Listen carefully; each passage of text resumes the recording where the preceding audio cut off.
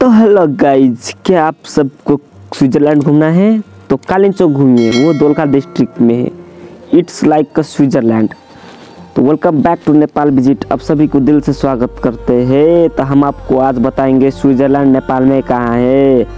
Dolakha district में रहा हुआ Kalinchowk it's like Switzerland आपको स्विट्जरलैंड घूमना है तो नेपाल में रहा हुआ स्विट्जरलैंड कालिन चौक को घूमिए। एकदम बहुत ही खूबसूरत बर्फ़ में घूमने वाला ठाव है। आपको ट्रैकिंग करना है तो एकदम ओपी ठाव है।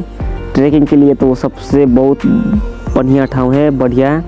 और पर्यटक के लिए घूमने के लिए बर्फ़ में एकदम ओपी और आउटस्टैंडिंग प्लेस है। बर्फ़ ही बर्फ़ है जहाँ तहाँ आपको बर्फ़ का मज़ा ही मज़ा आएगा।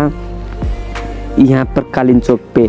और इधर आपको टॉप में रहा हुआ टेंपल जो हाई एटीट्यूड में है और तीन मीटर के टॉप में कालीन चौक का टॉप में है भगवती टेंपल जो आपको इधर ही देखने को मिलेगा।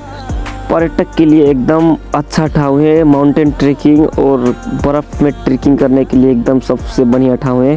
ट्रेकिंग आपको यहाँ पर अड़तीस सौ बयालीस मीटर का मिल जाएगा।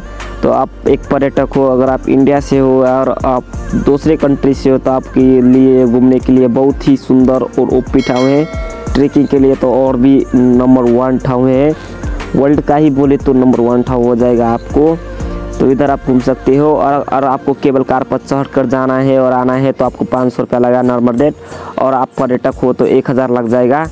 तो इधर आप आइएगा तो इस, क्या बोलता है उसको कार्ड कार्ड लेकर आइएगा इतना ही था और भगवती टेंपल आपको टॉप पे मिल जाएगा अड़तीस मीटर के टॉप में।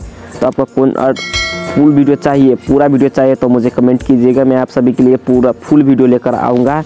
तो thank you for watching guys अगर आपको फुल वीडियो चाहिए तो हमें कमेंट कीजिएगा, हम फुल वीडियो लेकर आएँगे।